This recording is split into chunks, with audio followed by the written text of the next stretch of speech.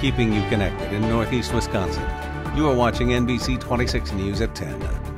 Right now on NBC 26 at 10, Green Bay police asking everyone to avoid downtown as protests spark tonight. Plus, more rallies around the state. The president now expected to make a visit to Wisconsin. And in tonight's rebound, a look inside a virtual classroom. Good evening. Thanks for joining us. We have breaking news tonight out of Green Bay. Police are asking everyone to avoid downtown as protests spark tonight. Police say they're dealing with an unlawful assembly right now. This is video from the scene outside the Marathon gas station.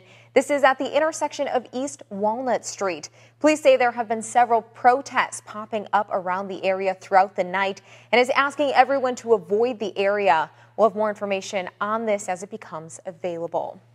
Tonight, we've also learned President Trump is expected to make his way to Wisconsin next week. A member of the White House staff says he'll be visiting Kenosha. The city has been the forefront of unrest following the police shooting of Jacob Blakes last Sunday. Trump will be visiting with law enforcement and will survey damage from the recent riots. This afternoon, Jacob Blake's family led a rally downtown, their message calling for change. The video of their son has sparked rallies across the nation. Today, his family leading hundreds alongside community leaders, elected officials, and activists.